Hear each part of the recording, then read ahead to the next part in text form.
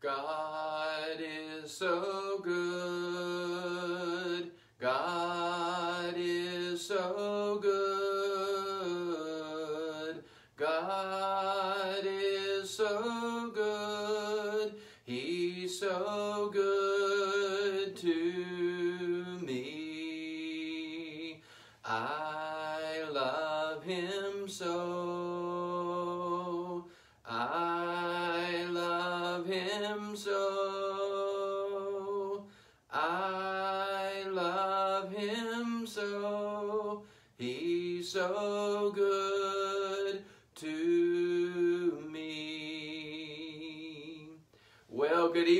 family and friends, loved ones, visitors. Glad you didn't just uh, move on to a different page after hearing that joyful noise. Certainly a joyful noise, but it is good to be with you uh, this evening.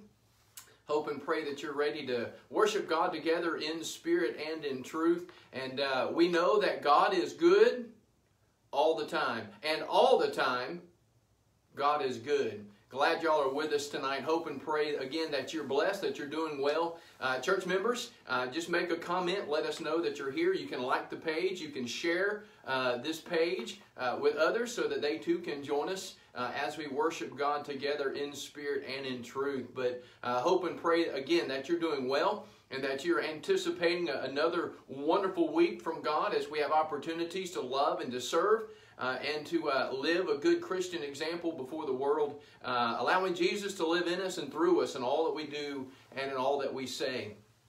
Want to begin tonight with some announcements and then some uh, prayer requests, so please uh, bear with me just for a moment, church folks. Uh, y'all pay attention as always, and let's share these together.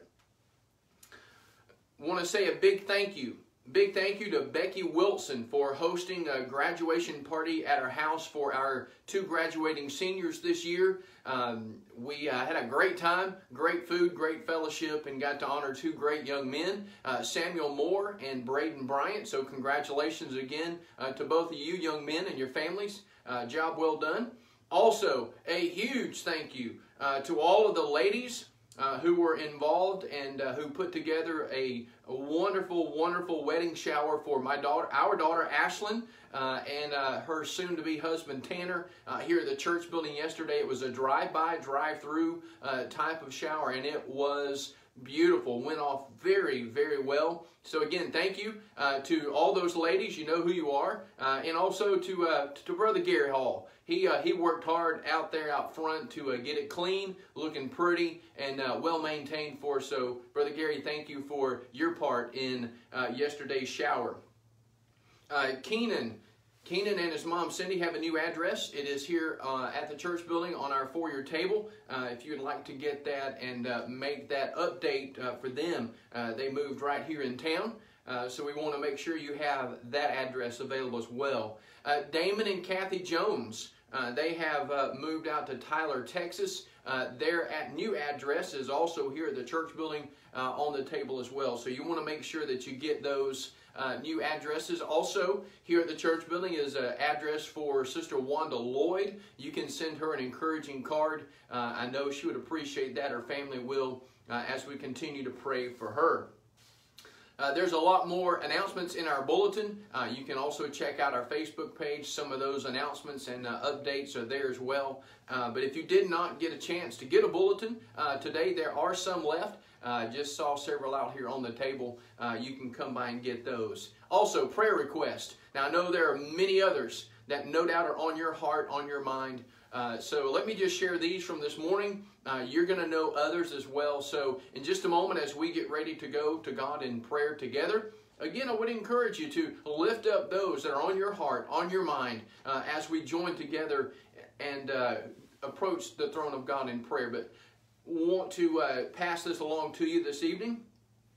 Brother Charles Willis is home from the hospital. Uh, he is doing some better. He's got doctor's appointments that he's been to uh, and others that he's got coming up. Uh, but please remember uh, Brother Charles Willis. He was with us this morning. Uh, he and uh, Sister Narita were there with us, and that's certainly wonderful to see them back out together. Our sympathy is expressed to Carl Hollinghead and his family uh, on the passing of Carl's brother, Paul, uh, this past week. Please be prayerful for them. Uh, Margaret McGuire's brother, uh, Tony Moore, uh, has been diagnosed with cancer. it is in his bones. we want to remember him in, in, our prayers. He will begin treatment this week.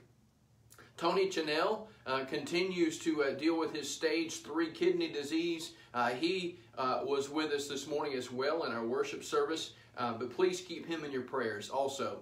Uh, we want to continue to pray for tall Karen Pierce uh, as she deals with her health issues. Uh, there are many others in our church bulletin, on our church uh, prayer list uh, that is getting longer. It's getting updated nearly every week, so please be mindful of these. And again, as we go to God together in prayer, let us join our hearts and our minds, and you lift up those that are on your mind as we pray together. Will you bow with me? Our Holy Father in heaven, we bow in your presence tonight, indeed thankful for your love and your tender mercy. Father, for the opportunity to once again gather together uh, on this beautiful Lord's Day evening to worship you in spirit and in truth. Father, we pray for uh, each of these that we have uh, mentioned here even tonight for Brother Charles Willis. Uh, for uh, the family of Carl Hollinghead uh, and also for uh, Tony Moore and his family. Uh, Father, we want to pray for Tony Chanel and uh, also for Tall Karen Pierce. Father, we continue to pray for uh, Wanda Lloyd as she um, works with uh, occupational therapy and physical therapy. And uh, Father, we just pray for uh, recovery, for progress made in her health. Dear God, for each of these that we've mentioned and, and so many others, dear God, that, that are on our hearts and our minds that are being lifted up before you uh, even right now as we join together uh, in, in our time of prayer to you. Father, we know that you are the great physician. We know that you're in absolute sovereign control and that your will will be done. Father, we pray for a stronger, deeper faith to trust you even more and to accept your will in our lives and for our lives that we'd always look to you for wisdom, for guidance, for strength, uh, in, in living out a faithful Christian life and serving uh, the world around us. Father, we just uh, thank you so much tonight for your son Jesus, uh, for the sacrifice that he made at the cross. Father, we, we come before you uh, in, in prayer on behalf of this great country. Dear God, we know that there is a lot of chaos and confusion and turmoil. Dear God, a lot of violence and wickedness all through the land. Father, we pray uh, for a, a, a revival our hearts would be turned back to you, dear God, and that, that you would be put back in your rightful place, and that we would truly once again be one nation under God. And Father, we pray for our leaders. Uh, from from the, the president all the way down to all of our local leaders. Father, we pray your blessings of wisdom and boldness and courage to stand for what is right. Dear God, to, to do those things that, that would bring us back into a, a good standing uh, with you, that we once again could be uh, one nation under God and that we could uh, prevail over this wickedness. Father, help us to, to be busy doing good and spreading good uh, works and good deeds. Uh, that uh, we might, as your scripture teaches us, that we might not be overcome by evil, but that we might overcome evil with good. Father, we pray that you'll be with us tonight as we study your word. Father, open our hearts and our minds uh, to your word. May our minds and our hearts be receptive and uh, fertile soil uh, will allow the, the roots and the, the seed to take place uh, in our lives, that it might grow and produce fruit uh, to your honor and to your glory. Father, uh, we thank you for times like this that we can come together and that we can uh, be drawn closer to each other, that we can be drawn closer to you, and have a, a deeper, better understanding of your word. Uh, and again, Father, we want to just say thank you for Jesus, uh, for it's through him that we humbly pray and seek your forgiveness and your grace and your tender mercy on our lives. Because, Father, we know, we know that without Jesus, uh, we are still lost and dying in our sins. We know that his blood is the only power available to us to have our sins washed away. And Father, we pray for that cleansing. And again, Father, we pray that in all that we do and all that we say tonight, it will be done in, in a, a spirit of, of uh, love and, and humility, and that we will seek your truth in all that we do. For it's through Christ we humbly pray. Amen. All right, church folks, it is good to uh, see everyone here tonight. Go ahead and, if you will, I know that you've got a Bible out there. I don't know who's got one, but I'm going to ask you to go ahead and uh, uh, hold it up and uh, hope and pray that uh, uh, you are ready to study the Word of God. I like to know who is armed uh, and dangerous. I want to share a song with you tonight as we get started. That song is "Anywhere Is Home." Anywhere is home. So give me just a just a moment here, and uh, we will be uh, sharing this song together. Jay, I see it's you and Kathy and Caitlin, and also Livy Joe. Thank you for watching, little lady.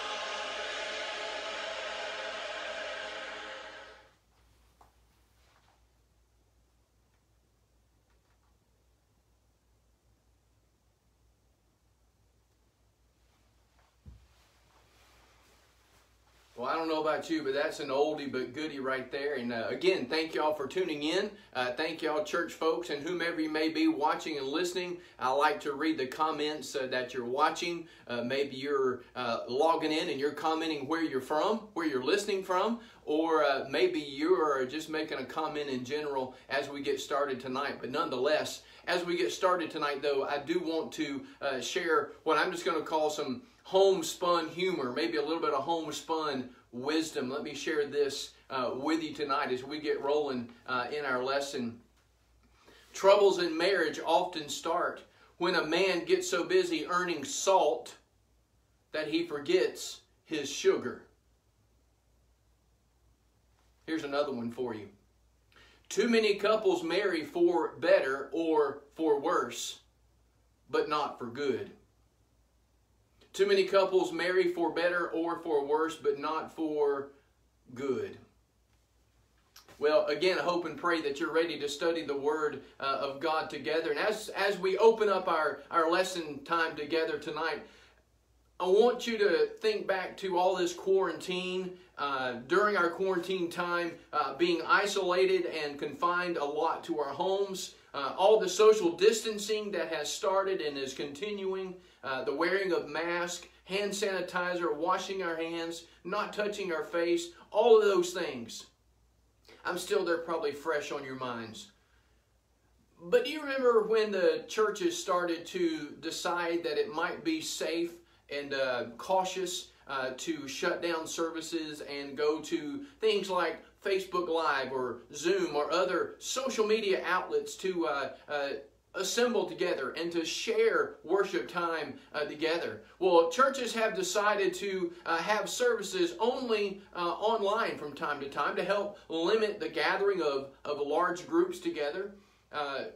Uh, the point has been made a lot of times as we think about that, as we talk about that, and uh, elders and uh, church folks make decisions and consider loving their neighbor from a distance uh, the point has been brought up, the question has even been asked, uh, that the church is not a building. The church is not the building. In fact, statements have been made, bumper stickers, t-shirts, uh, the uh, Facebook messages have gone out that say the church has left the building. Raise your hand if you ever heard that one. The church has left the building. I'm sure hands are going up right now. I can see a few of them. The church has left the building. Well, you see, getting out of the four walls of the physical church building is absolutely essential to the ongoing life and work of the Christian and of the church itself as a whole. We've got to get out of the four walls of a church building. You see, the, the church is not really an organization, but rather it is a living organism it is active and alive. It is to be visible and effective, influencing the world for the cause of Christ. And so tonight I want you to think with me for just a little while. As Christians, you and I as Christians, we are individual members of the church, the body of Christ. 1 Corinthians chapter 12 and verse 27. We can't get around that. We, we are individually members of the body of Christ, like a, like a baseball team. Yes, you are a team, but there's also different positions, different team members who function and work in different positions on that team in the field. Maybe they're the pitcher or catcher, first base, second base, shortstop, third base, left field, right field, center field, whatever it may be. You're an individual member of that team. Christians, you and I, we are individually members of the body of Christ, God's team, if you will. And so the, the question has been asked or, or uh, put out there uh, many different times on, on different occasions, and that is if the church is not the building, then why have a building? You know, they want to know what's the purpose? Why, why do you have a church building. They will even take the matter a little bit further and ask, what authority do you have uh, for even having a church building? And so they want to know. They want to know we want to know, we should know and understand this great question. Why, why do we have church buildings? Well, I think it's a great question. I think it's important for us to uh, understand, explore it tonight, and let's let's begin to answer the question from God's Word. And again, the question is, why do we have church buildings? Well, within the Lord's church, the churches of Christ, we believe that having authority, authority for the things that we do, for what we practice, for what we preach, is absolutely essential. And I want to share some, some thoughts tonight from a very short article uh, that was written by Victor Eskew. It was shared out on Facebook uh, a while back. And it's absolutely essential that we understand that we must have authority. I guess you could say permission. The authority to practice and preach what God would have us to practice and preach.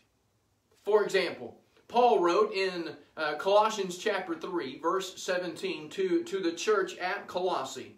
Colossians chapter 3, verse 17 says, And whatever you do, in word or in deed, do all in the name of the Lord Jesus, giving thanks to God and the Father by him. Now I want you to think about that statement. Colossians 3:17. And whatever you do, Notice that now. Whatever you do. Paul said it doesn't really matter. Whatever you do, but he got more specific next. He said, in word or in deed, whatever you preach and teach, whatever you practice or do.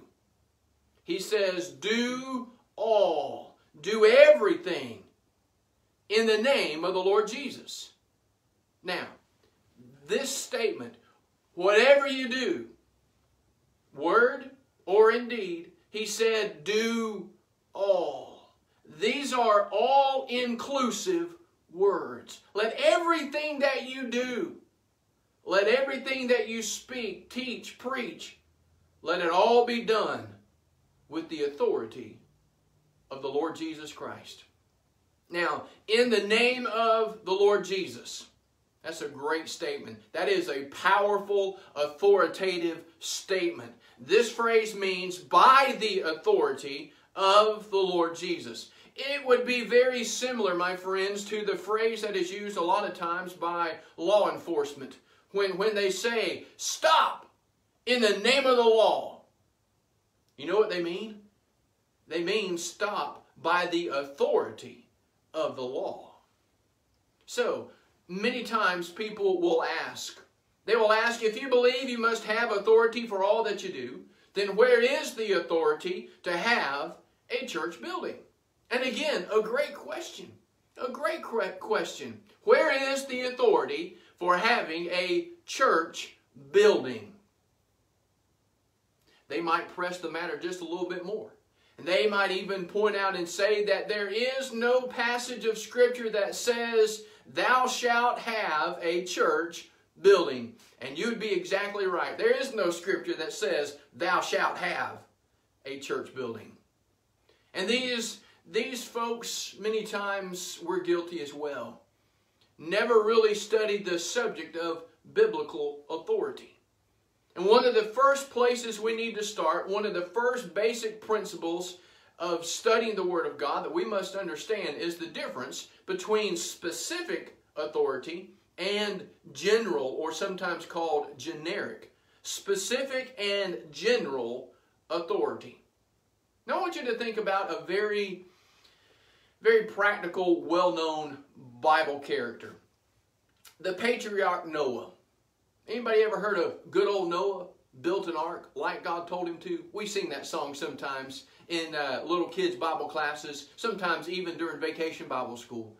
But I want you to think about Noah for just a moment as an example. In, in fact, in Genesis chapter 6, go ahead and turn your Bibles to Genesis chapter number 6. In Genesis chapter 6, verse 14, uh, God commanded this patriarch, Noah, saying this, Make an ark of gopher wood. God is telling Noah specifically what to do. Make thee an ark of gopher wood. Now, in this scripture, in Genesis chapter 6, verse 14, there is both general authority and also specific authority. Let's break it down and look at it. Let's process this together. The general authority would be make thee an ark. God told Noah, make an ark. Well, within that command, that general authority, within that general command that God gave Noah to build or to make an ark, uh, was the need for all kinds of different tools to actually make and construct that ark.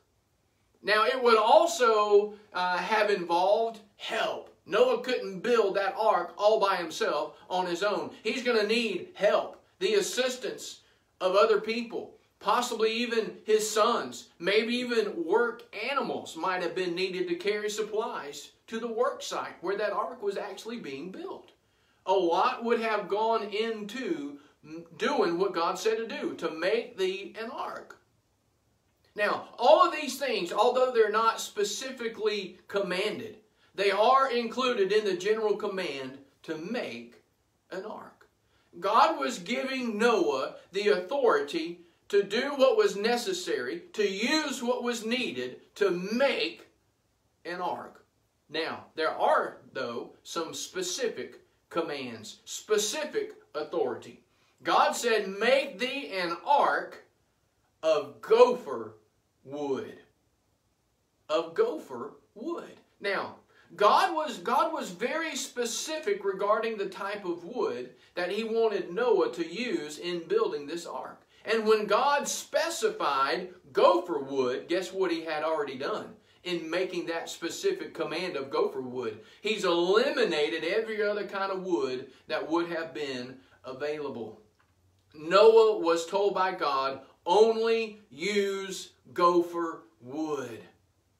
Other woods, no doubt, were available, but they could not be used because God commanded gopher wood.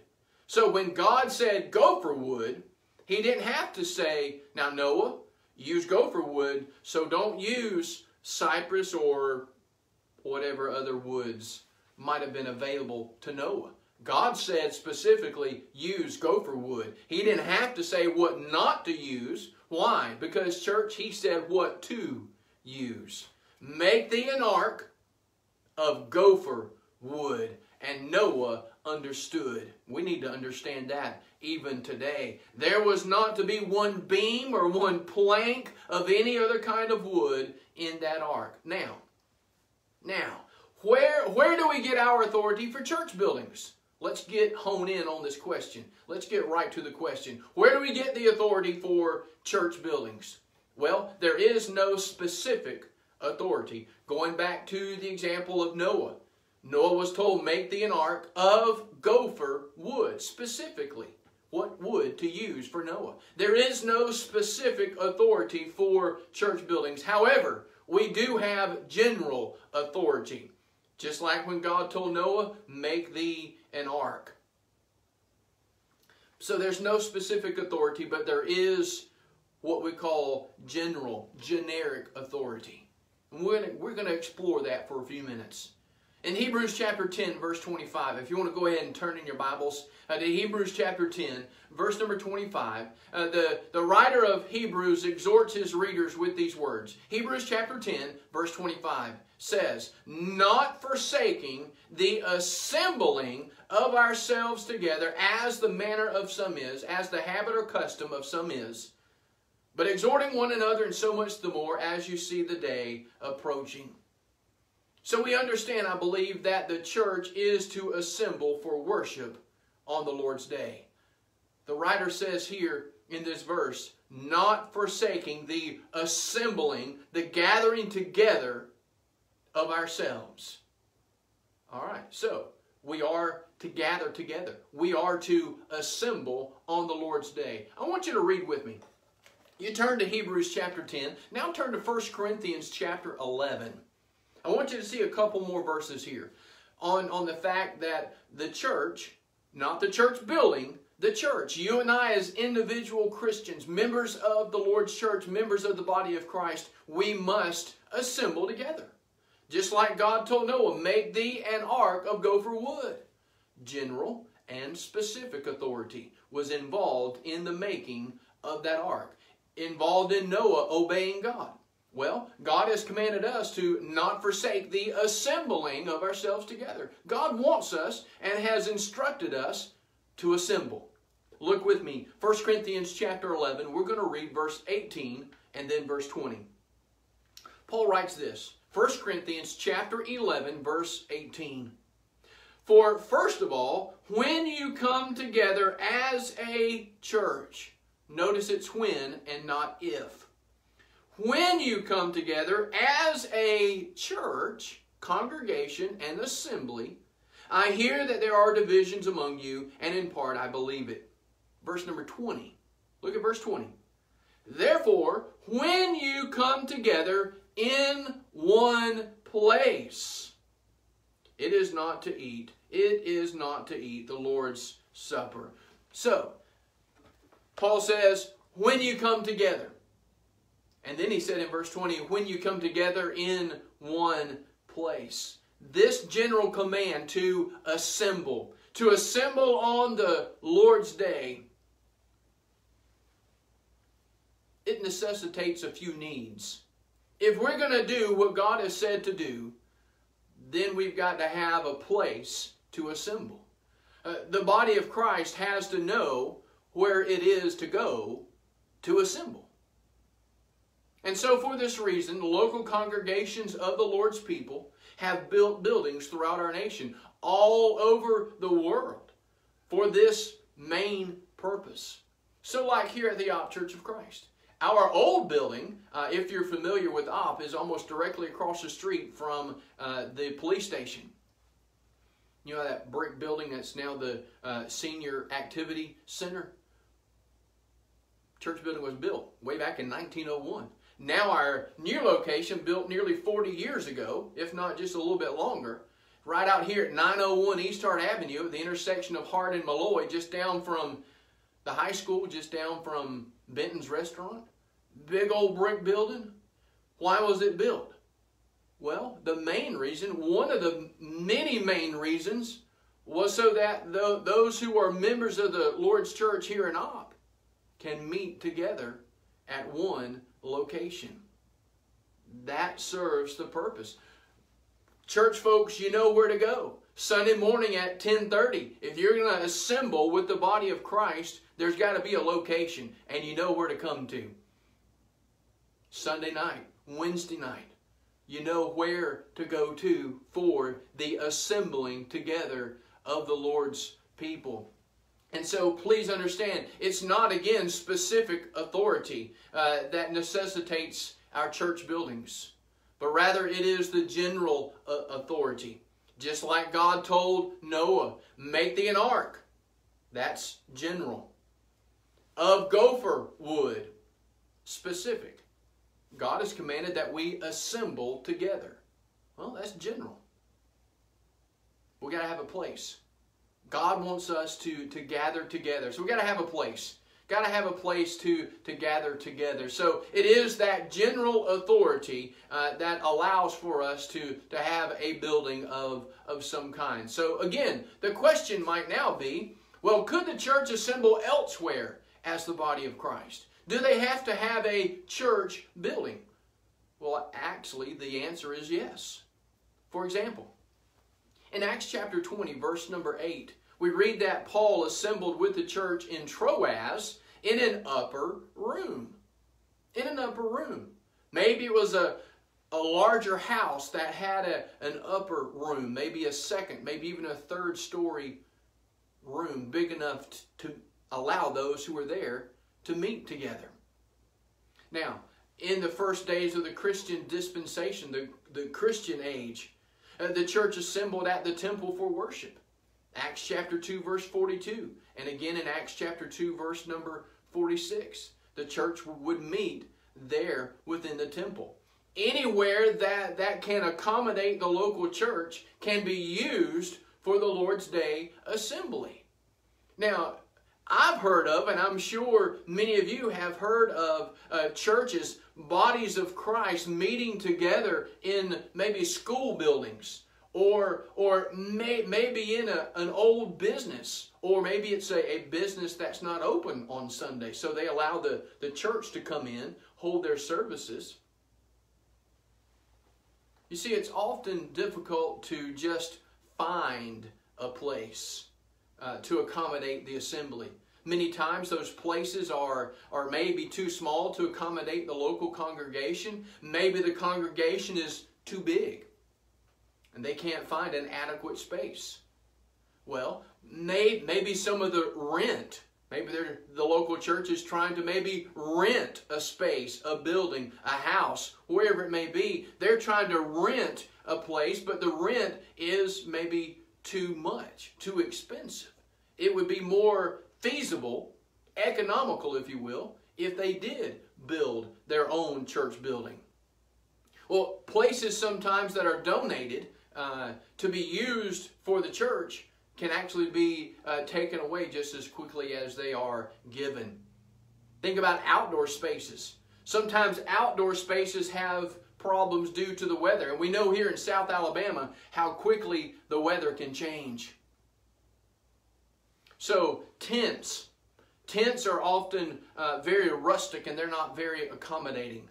Meeting outside is very unpredictable, and even when the weather does cooperate, it can be either really hot, really windy, really cold. You just never know. It may all happen on one day around here. You just never know. And so, for a lot of those reasons and many others, uh, most congregations have chosen to build their own buildings to accommodate the need uh, to assemble.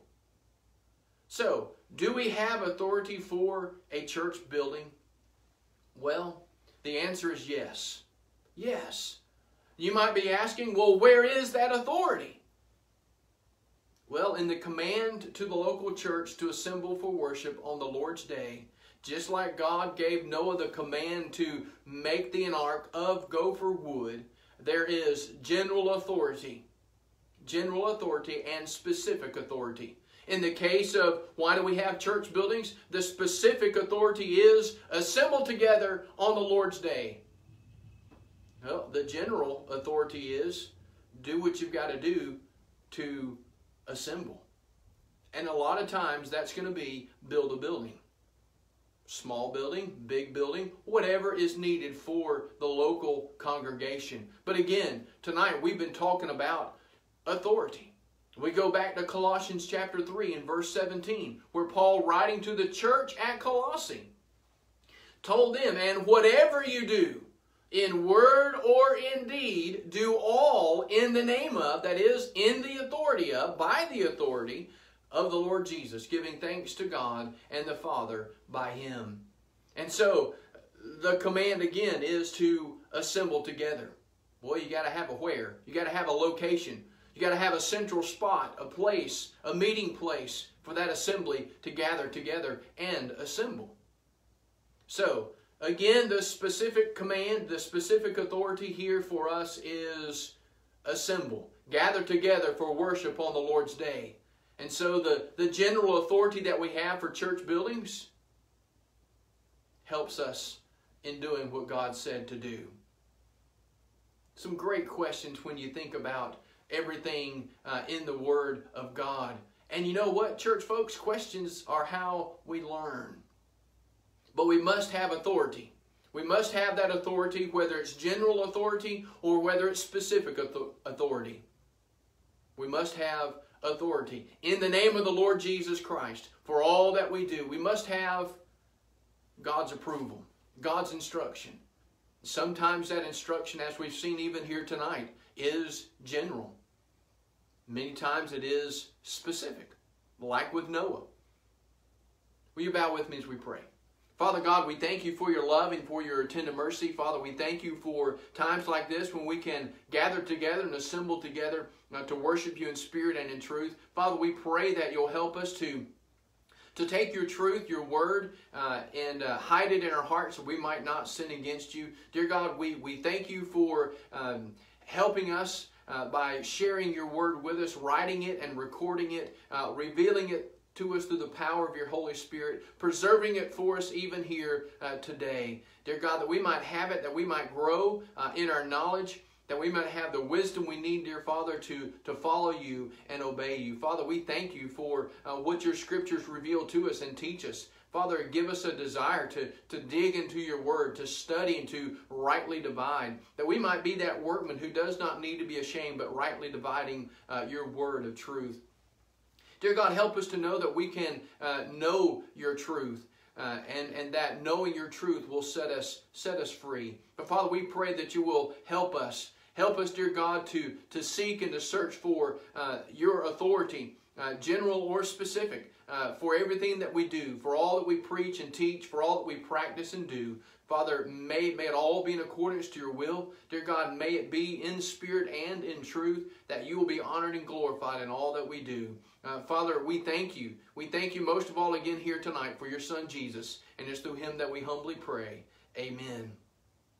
Oh, church folks, what a great question. What a great question. And I know there are many others, and, and we're going to be looking at several of those here uh, in the near future. But I want to encourage you uh, this week uh, remember uh, to check on other people. Uh, check on your church family, your friends, neighbors, uh, people across the street, co-workers. There's needs. There's people struggling and hurting. Uh, decisions have been made that impact their lives. There's a lot of um, situations happening. A lot of people who are struggling, who are down and out. Maybe you're one of them. We're here for you. Church folks, church family, loved ones. If you need me, call me, send me a message, reach out to me. I want to serve, but you got to tell me how, what I can do. Uh, also, church family here at Opp, please know that our elders, uh, they are available. They are your shepherds. They're my shepherds. They want to serve and take care of you and help you in any way, but you got to let them know. Don't struggle alone. Don't don't try to shoulder something all by yourself. You don't have to. We're brothers and sisters. We're the family of God, the body of Christ. We're on the same team. Let us help if we can. Just let us know. Let them know. Uh, but again, we love you. God bless you. Looking forward to Wednesday night. Uh, Lord willing, be right back here, 6 o'clock for our Bible study time. We're looking at how to be the church. How to be the church. Last week was focused on love, being a brotherhood of love. Well, we're going to explore uh, how to be the church at a different level, in a different way this coming Wednesday night. So I encourage you to join us, Lord willing. Looking forward to a great week and the opportunities that God is going to give us to serve and to uh, love our neighbor. But y'all take care. Be safe. Be careful. Uh, may God bless you, and we'll be back with you soon. We love you. Take care.